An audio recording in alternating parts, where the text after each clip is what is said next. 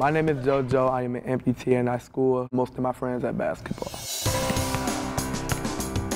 I can dribble, I can shoot threes, He shoot that ball like he's standing on two legs.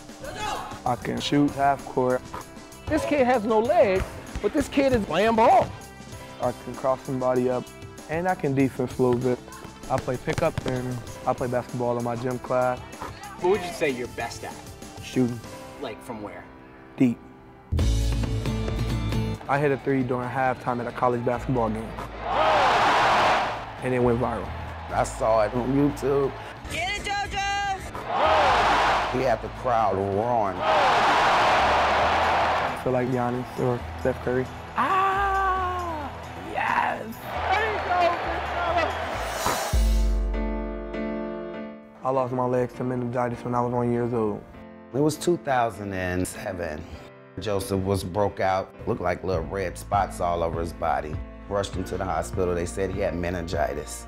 The doctors told me in order to survive, they would have to amputate his legs. Blood wasn't flowing down to the legs.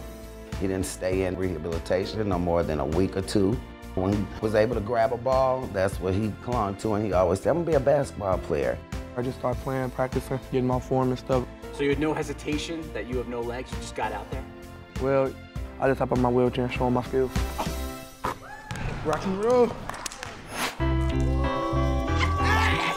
Joseph is such a wonderful example of a child with a disability because he doesn't see himself that way. Right here. He don't let that, he don't have no legs stop him. I never want him to go swimming. You should see the video of this child swimming. It's nothing stopping him. Joseph has grown up playing basketball with able bodied people. He is learning how to play in a wheelchair basketball chair now. Once he gets to high school, he may not be able to play out of his wheelchair. This is why we're trying to get him kind of in that village of people who are wheelchair basketball teams so that he doesn't feel super disappointed that he can't play basketball. I just joined my first wheelchair league. Bucket! I'm the only one on my wheelchair team that can shoot threes. If we could get him to really focus on wheelchair basketball, I believe that he could play professional wheelchair basketball. He could go as far as the Olympics. My goal is to play wheelchair basketball. When he wants something, he want it. Whatever you put your mind to, you can do it. I got a vision, the sky's the limit. And if you put your mind to that thing, then factory's more. I'm finna go crazy in every three and everything if I need to. It's more where that came from.